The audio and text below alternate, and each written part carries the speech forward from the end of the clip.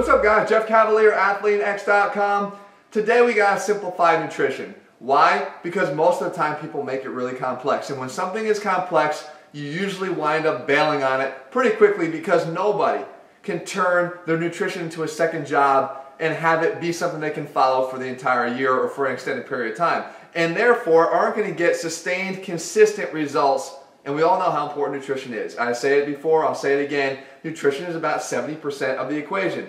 But if you can't follow it, we got problems. So with Athlean X and in my X Factor meal plan, we have certain guidelines and rules that make following a meal plan a lot simpler. We remove all the calorie counting and measuring and the macro counting because it doesn't have to be that complex.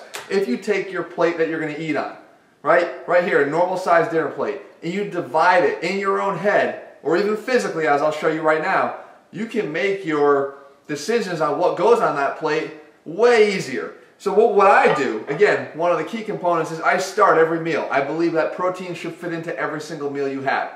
Obviously, it's much easier when you're in your supplementation, when you're having your protein shakes, or if I have my RX shake, that's a, that's a gimme. But when you're talking about your main meals, then you need to have protein in there. And what we do is we start with, here for me, again, an example, grilled chicken. So I've got grilled chicken that was already made up ahead of time, which again is another idea that you might want to adopt, especially here in the new year, is bulk prepare a lot of your meals so that you can dip into them and it's a lot easier than having to make it fresh every single time. Obviously I'm not talking about leaving this thing for days, but just for a couple days.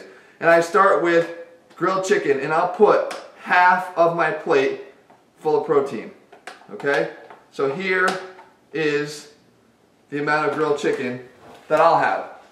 Right there, half of the plate. That leaves this other, other half of the plate here for you to deal with, okay? On this other half of the plate, we've got carbohydrates. Now with carbohydrates, you've got two major kinds of carbohydrates or categories of carbohydrates. You have your starchy carbohydrates and you have your uh, fibrous carbohydrates. Your fibrous carbohydrates are generally going to be lower in calories than are your complex starchy carbohydrates.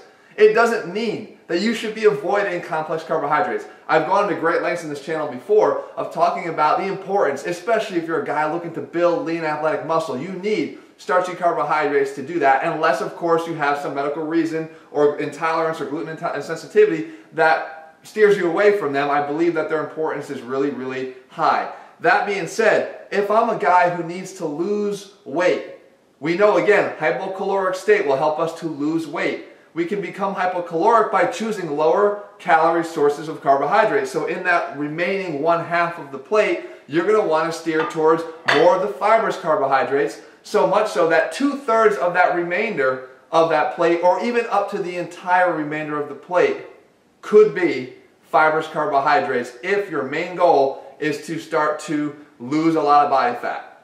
Okay, so if you did that, again, what I have here is we have like a um, again, a pre-prepared zucchini, squash mixed with some uh, with some olive oil and uh, and onions. You would put that here on the plate, and you take up about two thirds. And is again the general recommendation up to the full remainder of the plate if you're trying to really cut down on your calories. Now, me on the other hand, I like the starchy carbohydrates.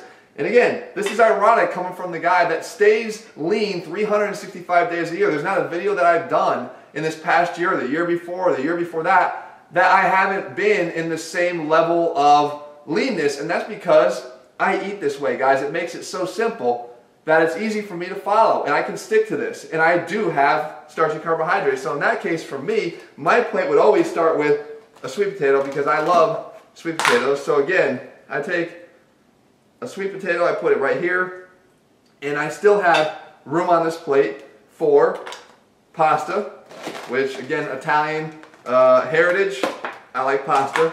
So I'll put pasta on the plate also, here.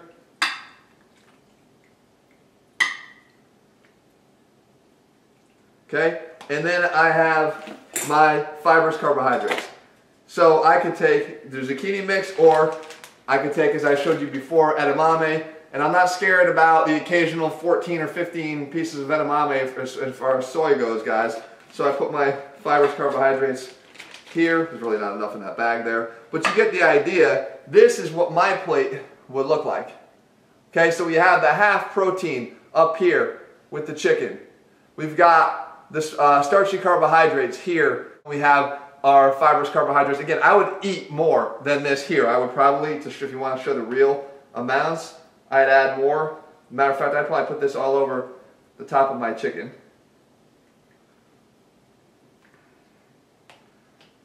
Probably have more than that.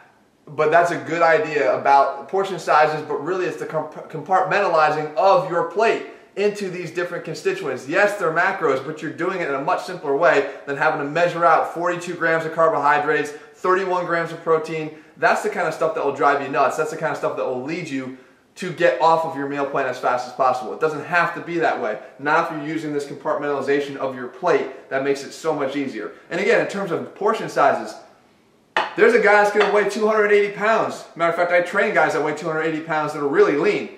They're, they're high level athletes they're going to eat probably double the amount that I eat here.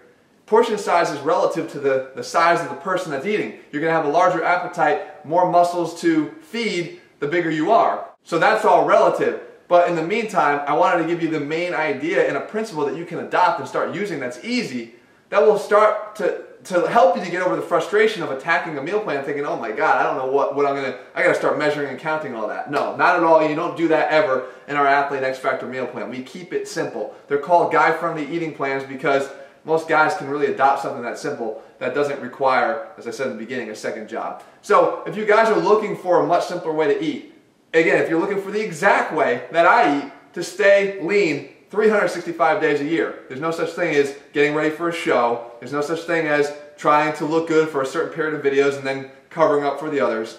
The idea is looking good 365 days a year. This is how I do it, and you guys can do the same. At AthleanX.com, with our AthleanX training system, you get the day-by-day -day eating plan.